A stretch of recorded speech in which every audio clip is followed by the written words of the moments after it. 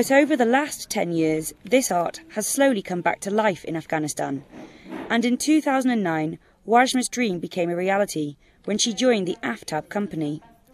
It was set up with the aid of the famous Théâtre du Soleil from France.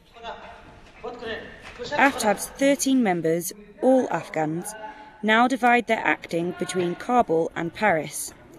From the start, the French company has guided and supported them.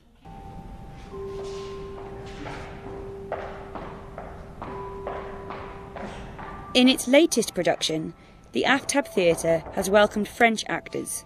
The subject of the play, the Afghans' vision of France.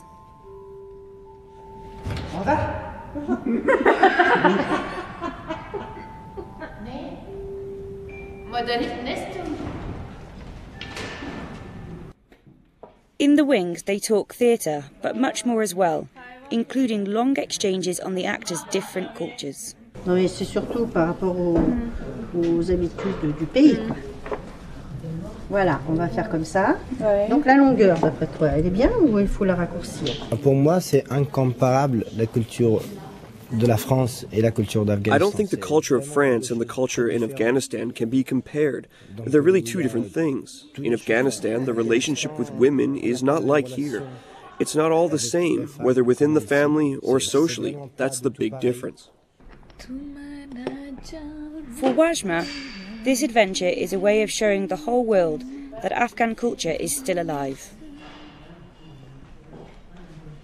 Le genre d'Afghanistan, ils ont besoin aussi de théâtre. People in Afghanistan also need the theater and the women who perform in theater. I hope that one day I will return there with no problem. I will perform in the theater and give them everything I have learned in France. de là de France.